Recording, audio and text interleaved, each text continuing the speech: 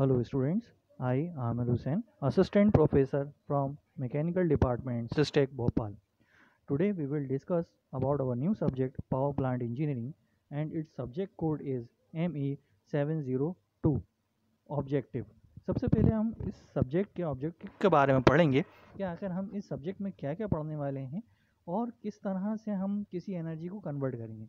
सबसे पहला जो ऑब्जेक्टिव है, इस सब्जेक्ट का वो है conversion of renewable energy system into electrical energy means हम कोई भी रिन्यूएबल एनर्जी को हम इलेक्ट्रिकल एनर्जी में किस तरह से कन्वर्ट करते हैं, उसके बारे में हम पढ़ेंगे।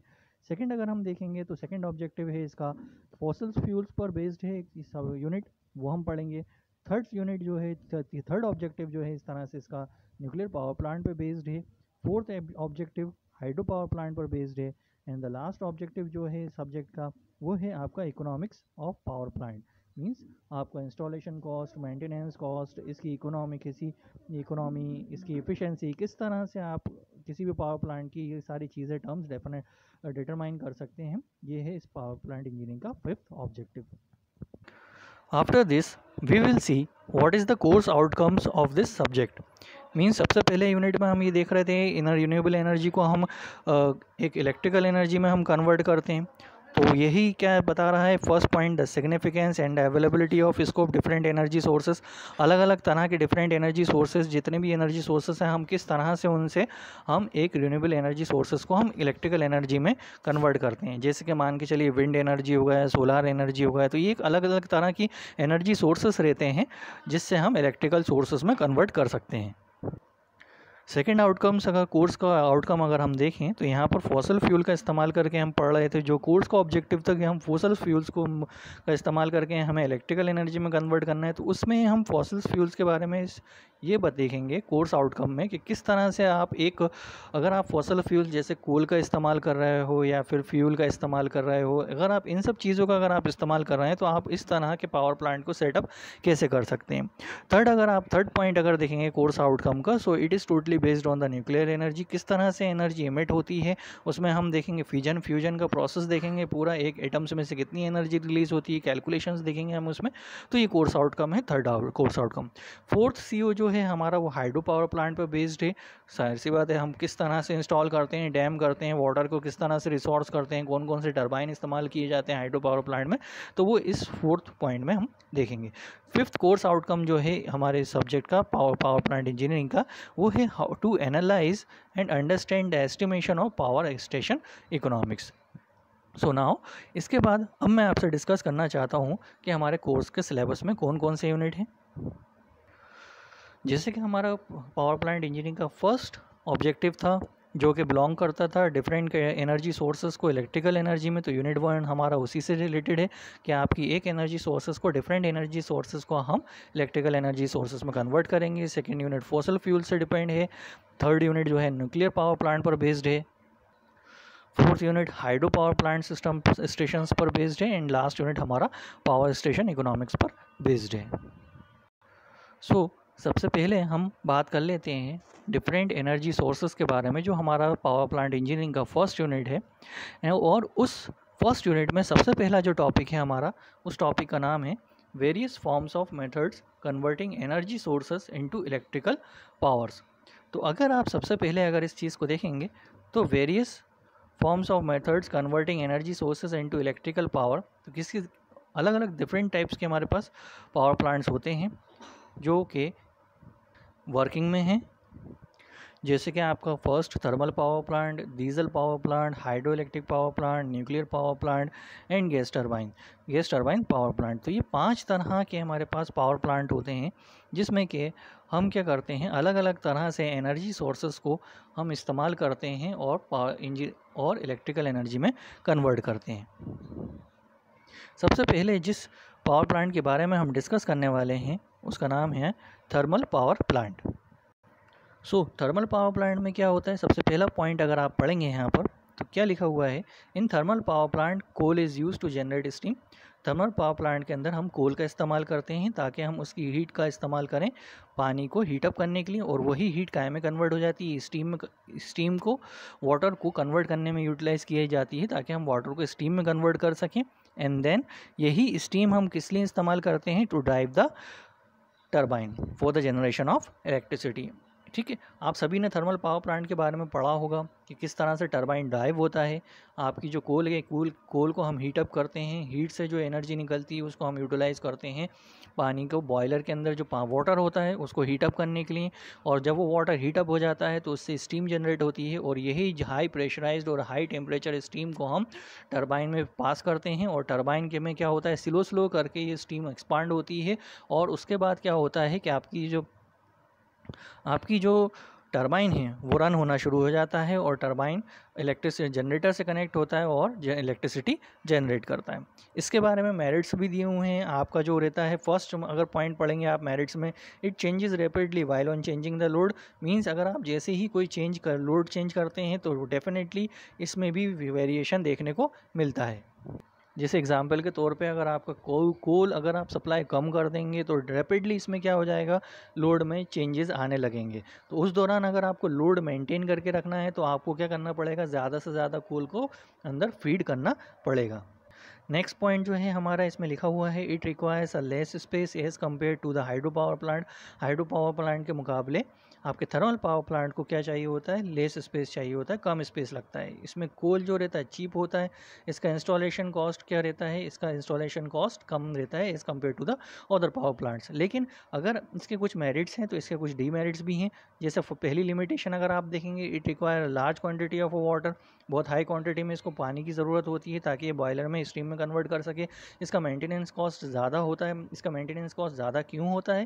क्योंकि बिकॉज़ आप बॉयलर में क्या कर रहे हैं, पानी को हीटअप करते हैं तो पानी की वजह से क्या आ सकता है? उसमें बॉयलर में रस्टिंग आ सकती है, जिस वजह से आपको हर बार मेंटेनेंस कॉस्ट करवाना, हर साल आपको मेंटेनेंस या फिर हर छः महीने में आपको बॉयलर का मेंटेनेंस या पूरे प्लांट का मेंटेनेंस आपको करना पड़ता है। अदरवाइज़ कहीं ना कहीं से पानी लीकेज हो जाएगा या फिर आपको और भी ज़्यादा ह्यूज अमाउंट पे करना पड़ सकता है। इसलिए आपको हर साल इसका मेंटेनेंस कॉस्ट प्रोवाइड करना पड़ता है। इसकी एफिशिएंसी जो रहती है वो कम रेपिडली डिक्रीज़ होकर 75 परसेंट लोड पर सडनली रेपिडली डिक्रीज़ हो जाती है।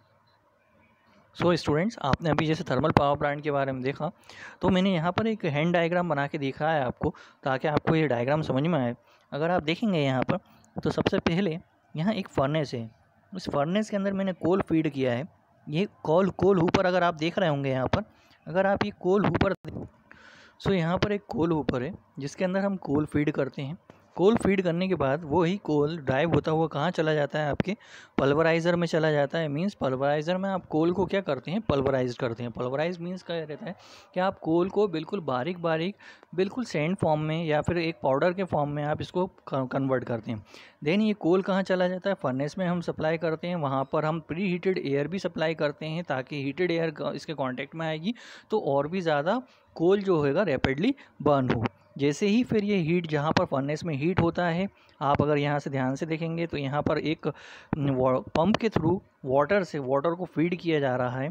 पंप के थ्रू वाटर को फ़ीड किया जा रहा है। यहाँ पर आपका स्टीम कन्वर्टर लगा हुआ है। जैसे ही ये हीट वाटर को सप्लाई होती है, ये क्या हो जाता है, वाटर धीरे धीरे करके यहाँ से ऊपर की तरफ़ जाते वक्त स्टीम में कन्वर्ट हो जाता है और स्टीम कन्वर्ट होने के बाद यहाँ से सीधे रैपिडली टरबाइन को सप्लाई कर दी जाती है। टरबाइन आपका अल्टरनेटर से कनेक्ट रहता है, जिससे कि इलेक्ट्रिसिटी जनरेट हो जाती है। देन लास्ट में क्या होता है? टरबाइन आपके मिक्सचर ऑफ़ वाटर और स्टीम को एग्जिट करता है, जो हम कंडेंसर के थ्रू पूरी की पूरी स्टीम को क्या कर सकते हैं? वाटर में कन्वर्ट करते हैं और उसके बाद स्टीम को वाटर में कन्वर्ट करने के बाद अगेन पम्प के थ्रू ये सप्लाई फिर से, ये पानी की सप्लाई फिर से प्रोवाइड करवाते हैं। इस तरफ़ आपने देखा था यहाँ पे कि हम कोल ऊपर में कोल सप्लाई करते हैं। यहाँ पर कोल ऊपर में हम कोल सप्लाई करते हैं। पल्वराइज़र में कोल क्या रहता है आपका? यहाँ पर कोल देना आपका। देन फिर कोल पल्वराइज़र में जाता है, जहाँ पर कि कोल बिल्कुल स्मॉल पार्टिकल्स के फॉर्म में आ जाता है।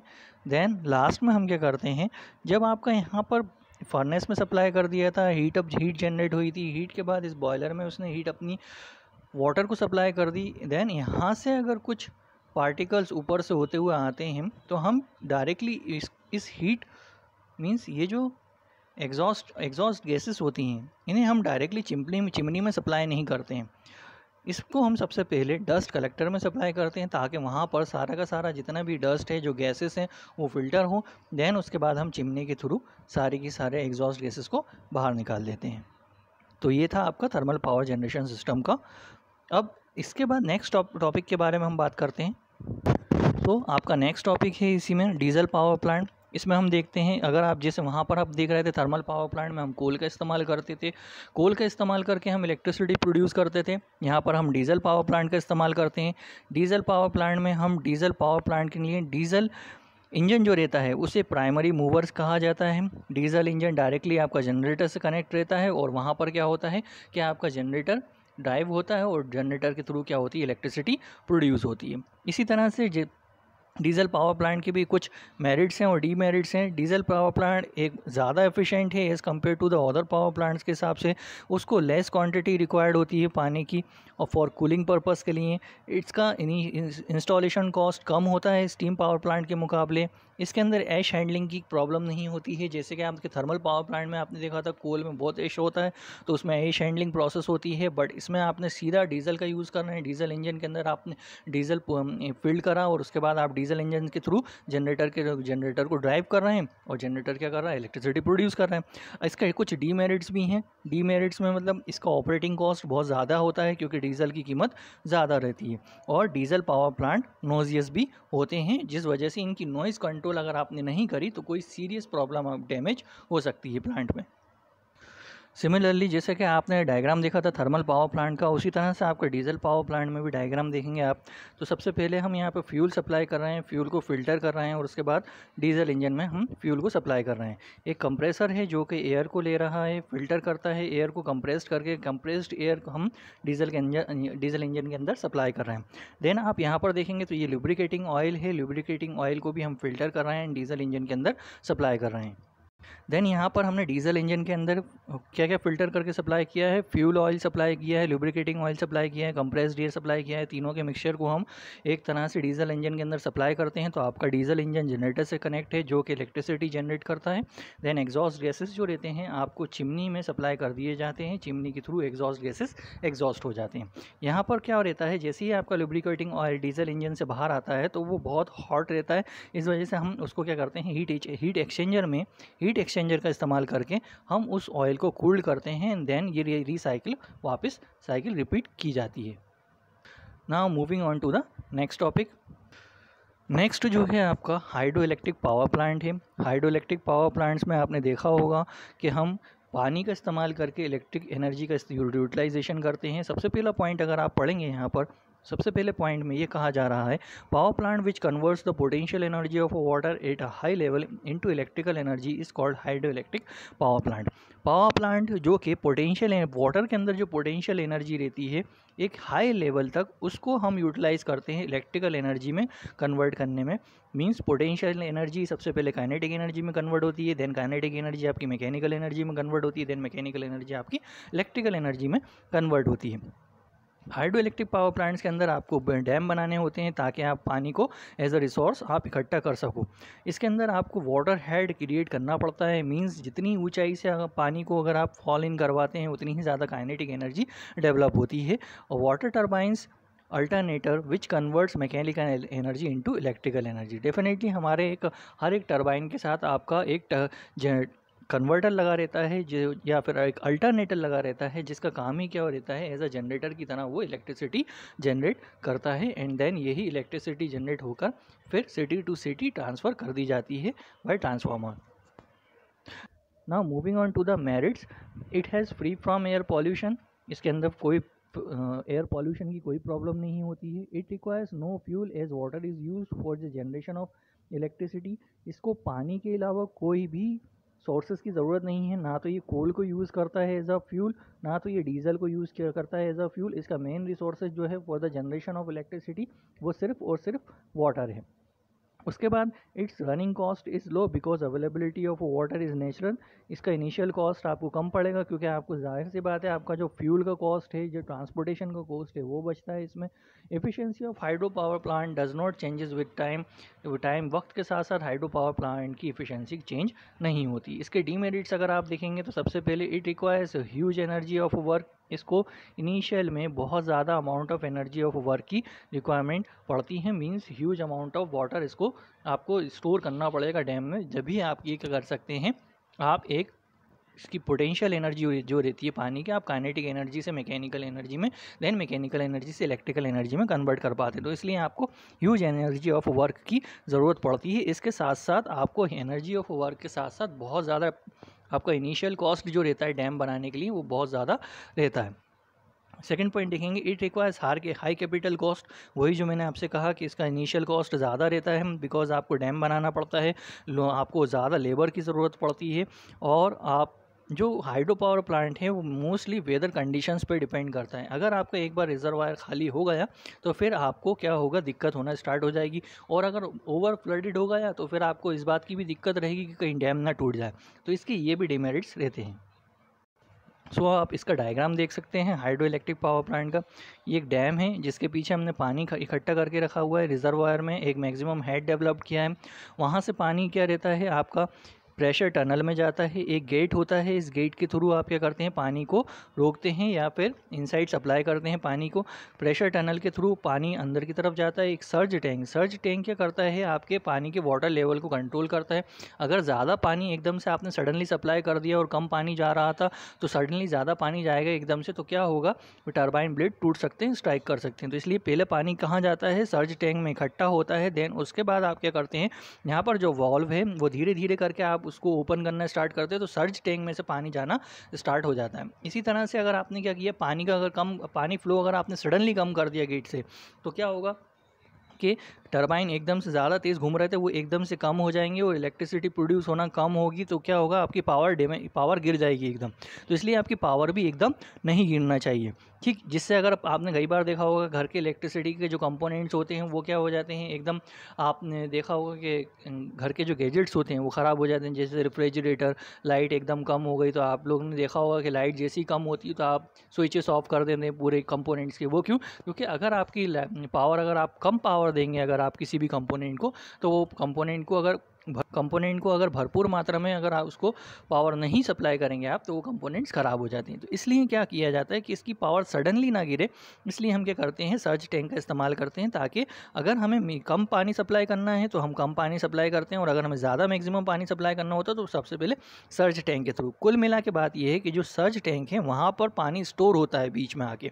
पहले तो रिजर्वायर में उसके बाद फिर पेन सर्च टैंक में आके स्टोर होता है, देन उसके बाद फिर सप्लाई होता है।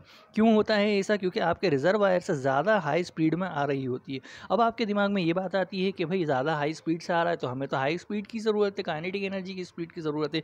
ये आपको यहाँ पर ऐसा दिख रहा है जैसे सर्च टैंक यहाँ लिखा हुआ है।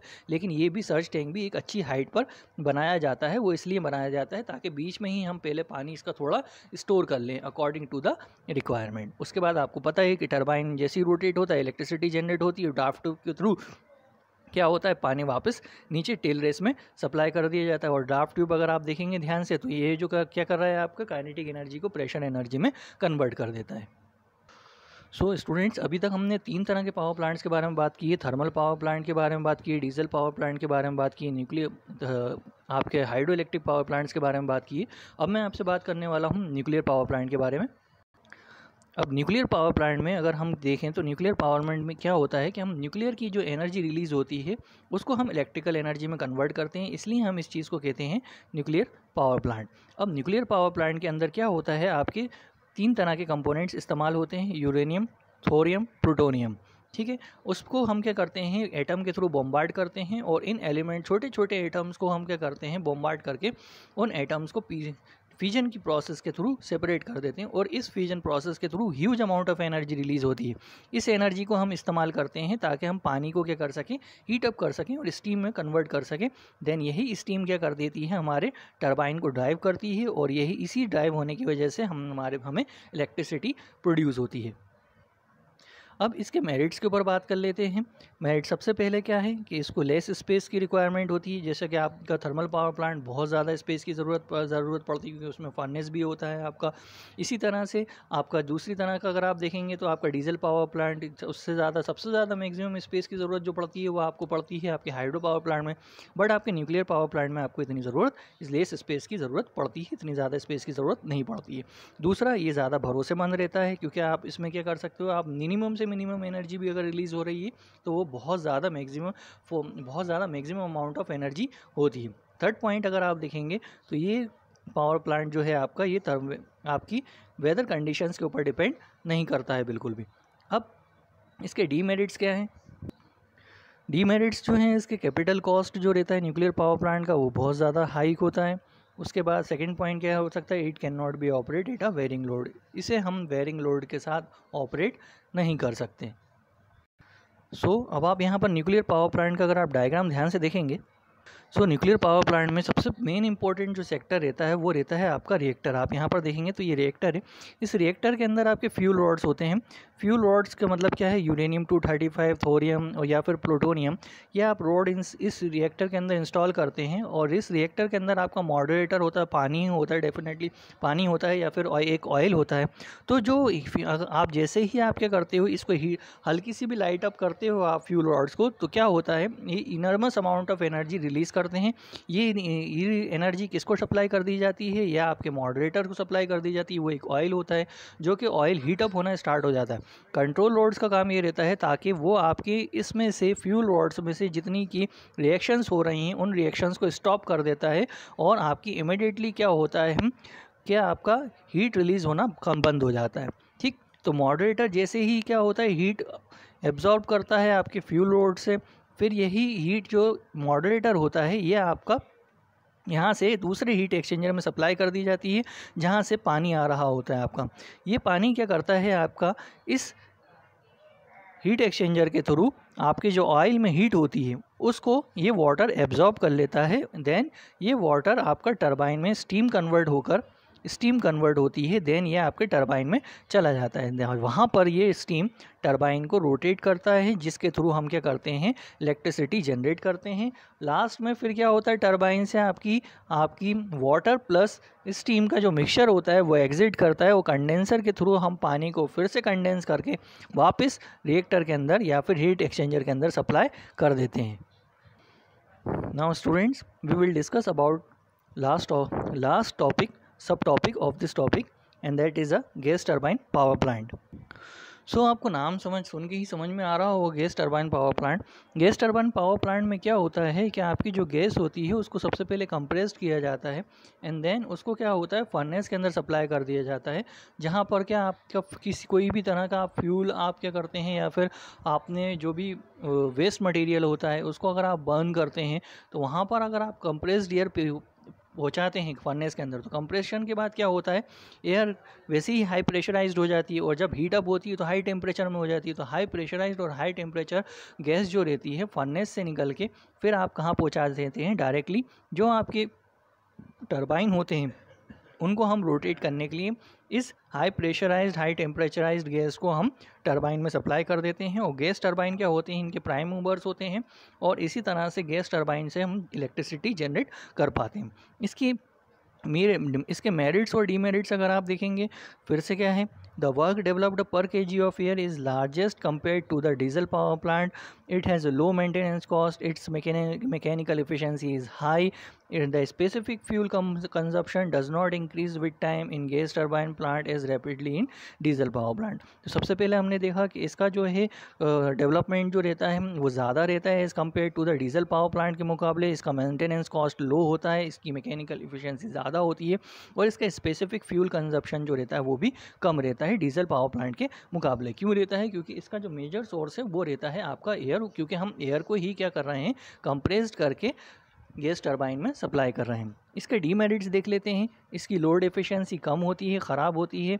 इसका मेटल और इस special metals and alloys are required for different compound of plant special cooling methods are required for cooling the turbine blades आपको स्पेशल मेटल और अलाउज की ज़रूरत पड़ेगी कुछ कंपोनेंट के प्लांट की, जैसे कि आपने कहा टरबाइन ब्लेड जो लेते हैं। अब आप क्या कर रहे हो? टरबाइन के ब्लेड्स में अगर आप कोई भी एयर को अगर आप हीट कंप्रेस कर रहे हो हीट अप करके भेज रहे हो और एयर में तो आपके बहुत सारे गैसेस प्रोड्यूस होते हैं। ऑक्सीजन ऑक्सीजन होता है कार्बन डाइऑक्साइड होता है नाइट्रोजन होता है। All these gases can can react with the turbine blades और it they can create a rusting so so, आपको क्या रहता है? इसका मेंटेनेंस कॉस्ट ज़्यादा रहता है। आपको स्पेशल कूलिंग मेथड्स भी सप्लाई करते हैं। टरबाइन करो करने पड़ते हैं टरबाइन ब्लेड्स को।